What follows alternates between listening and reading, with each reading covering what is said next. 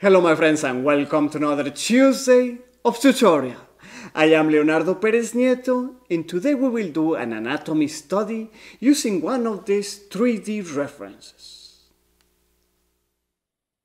We will draw the torso on a frontal view and as you can see this figure is really helpful because it perfectly shows all the muscles, tendons and ligaments. We begin tracing a middle line as a guide, like this. Then we measure the size of the head and we mark it on the paper.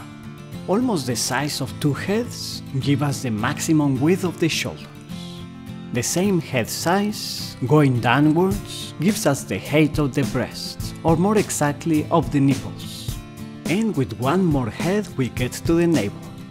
As you see I use the size of the head to have a well proportioned figure. This is a very old method, even the Greeks used to do that, as you know. And now I'm simply copying the muscles of the model. I want to thank 3D Total because they want to give as a gift one of these reference models to one of Fine Art Tips students. There are three different versions of the piece and if you are the winner, you will be able to choose the one you prefer. One is fully anatomical with all the muscles and tendons. Another one is half anatomical and half covered with skin. And the last one is fully covered with skin like a more realistic person. All you have to do to participate in the raffle if you want to have a chance to win it is to leave a comment on Fine Art Tips Facebook page saying that you would like to win it. The link is below the video and the raffle will be this Friday the 6th. Having one of these figures as a reference is really helpful when drawing the figure and of course when sculpting it or also for animation or of course for digital drawings.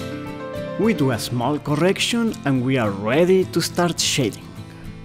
The line that divides the pectoralis, that is the chest, was supposed to go a little bit lower.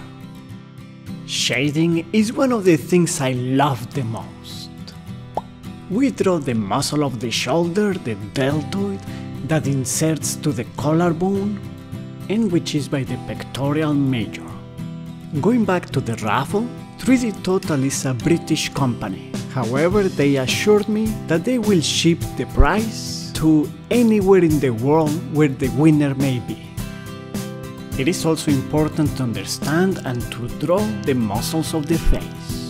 And let's not forget the rectus abdominis or the six pack, which is so important in superheroes and in very strong people.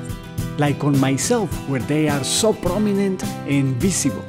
Okay, okay, maybe only in my dreams. the neck has several muscles and tendons that are important for an artist because they are visible. Even the head has muscles like the frontalis, thanks to which we can lift the eyebrows. I would love it if you can let me know in the comments if you would like more anatomy drawings or whether this one was so boring that you fell asleep in the video.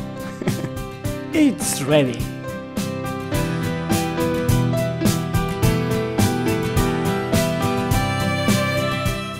If you enjoyed it, please give it a like, share it to your friends, and subscribe to Fine Art Tips. You know where to follow me, the links are below. And I will see you on Tuesday.